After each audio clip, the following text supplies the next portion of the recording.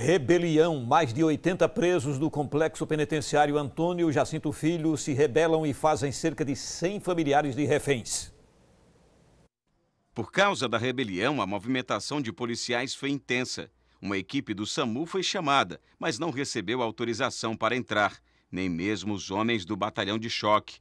A contenção foi feita de uma certa distância para evitar que parentes de presos se aproximassem da unidade. Correria do lado de dentro, tensão do lado de fora.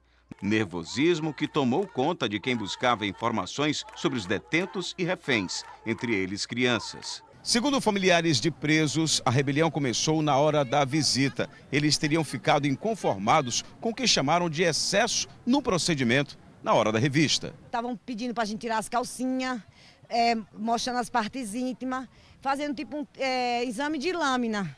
Se tem a máquina, para que esse constrangimento? As revistas que tá tendo aí estão fazendo a gente tirar a roupa. A gente não. não isso aí é, é, lei, né? Não tem mais essa revista. Tem detector de metal, tem, tem Scania. E eles estão fazendo a gente tirar a roupa, passando por. mandando para ML. Chega lá no ML e não tem nada. É, é, visita perdendo carteirinha. A partir das duas, quando a visita das duas saiu, que hoje foi a visita do pavilhão C, começou tiroteio, começou os presos gritar.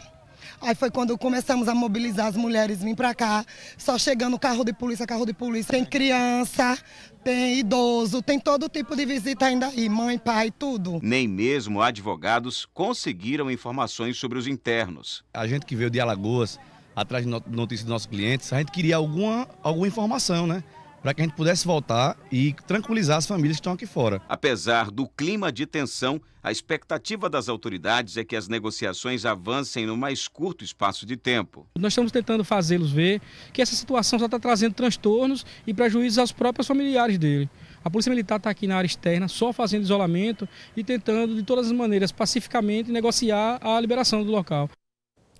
De acordo com a Secretaria da Justiça, a situação está sob controle.